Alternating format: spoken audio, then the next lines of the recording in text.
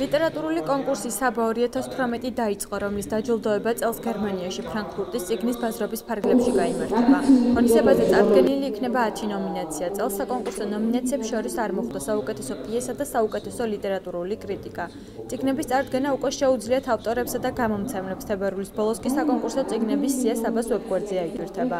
ლიტერატურული კონკურსი წელს მე-16-ით ჩატარდა.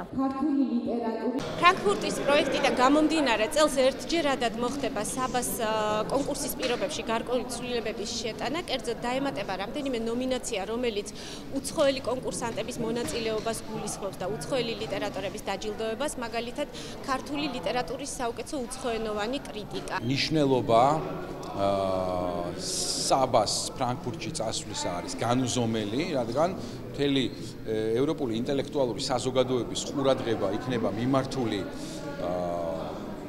ქართული ლიტერატურისადმი საბას დაჯილდოებად სწორედ ამიტომ იქნება ფრანკფურტში რომ მაქსიმალურად მოახდინოთ თანამედროვე ქართული ლიტერატურის პოპულარიზაცია და გაცნობა უცხოელი გამომცემლებისათვის